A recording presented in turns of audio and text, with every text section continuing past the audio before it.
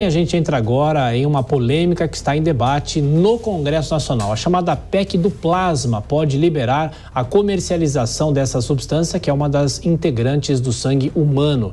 E a nossa convidada é a Indianara Galhardo, vice-presidente da Associação Brasileira de Pessoas com Hemofilia. Indianara, como vai? Muito obrigado mais uma vez por atender a Jovem Pan. Boa noite, Tiago. Eu que agradeço pelo convite, pelo espaço para que nós possamos é, falar sobre esse assunto tão importante e tão polêmico aí que, que a gente está tá tratando nesses últimos dias. Claro, sem dúvida. E a associação, para que a gente possa entender a posição de vocês. Vocês são contra ou favoráveis a essa mudança, a comercialização? Isso já é motivo de polêmica, né? Sim, sim. É, nossa associação, Associação Brasileira de Pessoas com Hemofilia, nós nos posicionamos contra essa PEC, né, porque a gente entende que isso pode ser um retrocesso em uma lei que nós temos aí que regulamenta todo o sangue no Brasil, que, que tem, a, é, é como se a gente voltasse, a, o risco de voltar ao que aconteceu na década de 80, na década de 70, 80 ali é muito grande, então a gente precisa sim agir com cautela e ficar muito atento a, ao que pode acontecer a partir de uma possível aprovação dessa PEC.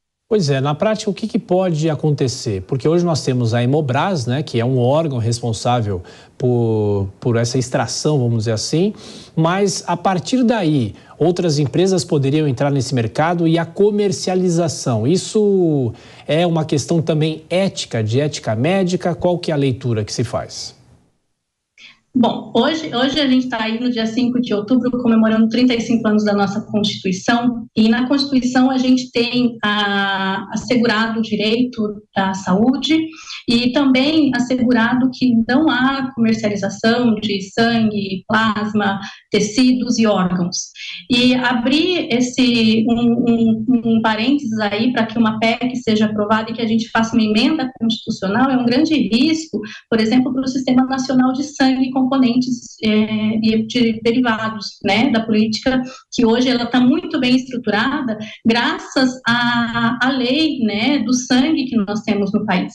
Uma lei que assegura que todo o sangue vai ser coletado com segurança, que ele vai ser processado com segurança por uma empresa né, que a gente tem hoje, que, que, que é a Hemobras, que está aí a há tanto tempo sendo construída, tendo investimento nela, e que nos próximos meses desse ano vai começar a produzir, por exemplo, o fator 8 recombinante, e que até 2025 tem de começar a produzir aí os fatores plasmáticos e também outros hemoderivados. Então, a gente precisa ficar muito atento para que essa possível comercialização não venha aumentar, porque essa comercialização pode não garantir a independência, né, que é o que tem sido falado, é, que a, a precisa aumentar a quantidade de plasma para produzir mais, mas uma vez que não existe ainda a fabricação de, por exemplo, é, imunoglobulina aqui no país, esse plasma, mesmo sendo coletado em maior quantidade, precisará ser é, mandado para fora do país para depois retornar. E a garantia que a gente tem, será que esse medicamento vai retornar realmente para o SUS? Vai retornar realmente para os pacientes que necessitam? Então, a gente precisa estar tá muito, muito atento a tudo isso. Eu acho que um ponto importante que a gente precisa colocar aqui hoje é que a gente precisa, primeiro, fortalecer o nosso SUS, fortalecer é, a, as políticas que existem hoje, né, a hemorrede que existe hoje, que faz todo um acompanhamento com os pacientes, é, por exemplo, de hemofilia e outras coagulopatias. Uma questão também que, que eu quero pontuar, que eu acho que é muito importante, é que nenhum medicamento ele é fornecido gratuitamente, ele vem através dos impostos que a população paga, que são impostos altos né? E a conquista que nós temos hoje de ter um tratamento seguro, ele se dá por conta dessa, dessa política que está muito bem estruturada e que a gente não pode correr o risco de que isso venha é, se perder ou então que direitos conquistados venham ser é, excluídos de alguma forma.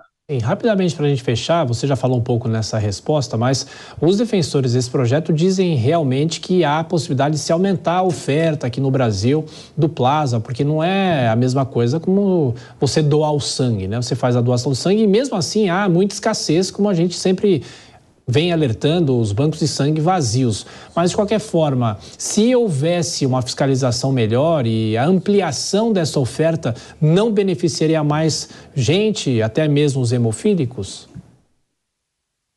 Sim, é, só que existe um ponto importante que a gente precisa avaliar, porque assim, nenhuma empresa é, privada poderá é, processar esse plasma. Independente se ele vai, é, se o paciente vai coletar, por exemplo, numa empresa privada, é, o plasma, ele vai ter que ser encaminhado para fora do país. E, a, a, por enquanto, a gente não tem uma garantia realmente que isso retorne. Então, essa é a preocupação. É, será que realmente a, a, gente não vê na PEC ali uma segurança que 100% vai retornar para o país? Pode ser que a hora que começar isso ser processado, avaliado, isso não volte mais. Então, é, a gente corre um grande risco. Então, acredito que agora, no momento que a gente está com a questão da Hemobras, o, maior, o melhor a se fazer é fortalecer isso e a gente começar a realmente ver o produto da Hemobras chegar para os pacientes. Então, é, pontuo mais uma vez, é, a gente teve, durante a década de 80, pacientes com hemofilia que foram dizimados em todo o mundo, inclusive no Brasil, por conta de sangue contaminado, e, e a gente não pode voltar a ter esse retrocesso. Né? A gente precisa lutar para que a melhoria aconteça, mas que aconteça de maneira clara e que a gente entenda que a saúde é um direito e o sangue não é uma mercadoria. Indianara Galhardo, vice-presidente da Associação Brasileira de Pessoas com Hemofilia, muito obrigado pelos esclarecimentos e a gente vai continuar acompanhando esse debate. Muito obrigado. Nós que agradecemos. Obrigada.